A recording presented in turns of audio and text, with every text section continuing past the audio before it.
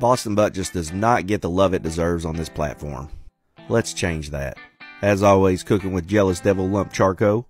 These pork shoulders were on sale at Kroger, buy one, get one free.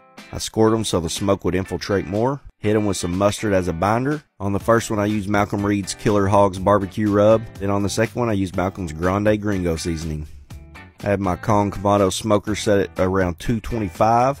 Monitoring the temp with this MeatStick X. No peeking when they hit an internal temp 165, I wrapped them. Then I upped that temp to 300 and let them cook till they hit an internal temp of 205. Let them rest about 30 minutes. Shred them up, then I like to hit them with a little bit more of that seasoning.